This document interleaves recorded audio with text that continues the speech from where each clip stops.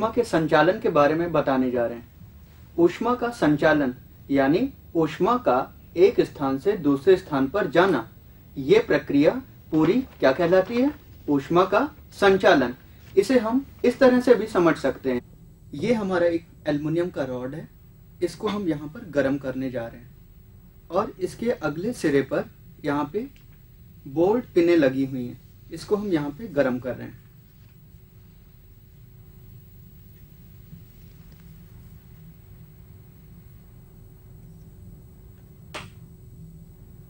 देखा आपने? पहली पिन गिरी है यहाँ पे।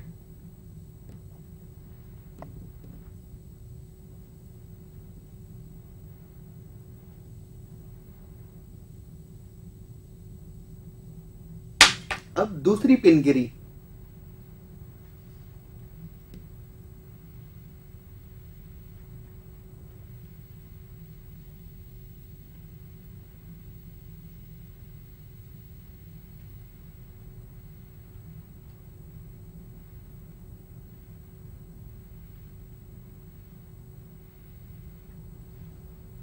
अब तीसरी पिन गिरी जानते हैं ऐसा क्यों होता है?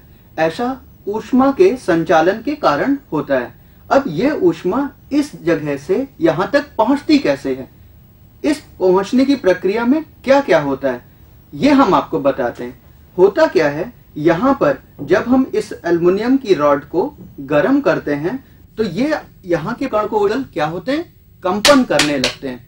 कंपन करने के बाद ये इनमें ऊष्मा उत्पन्न होती है और ये अपने आगे वाले कण को ऊष्मा दे देते हैं। इस तरह उस कण में भी ऊष्मा आ जाती है और वो अपने आगे वाले कण को देते रहते हैं ऊष्मा तो इस तरह ये पूरा प्रक्रम चलता रहता है कि एक कण ऊष्मा लेता है अपने पहले वाले कण से, फिर वो अपने आगे वाले कण को देता है, फिर वो वाला कण अपने से बाद वाले कण को देता है। इस तरह इस पूरे प्रोसेस में ऊष्मा का संचालन होता है। तो ऊष्मा का एक स्थान से दूसरे स्थान तक जाना ही ऊष्मा का संचालन कहलाता है।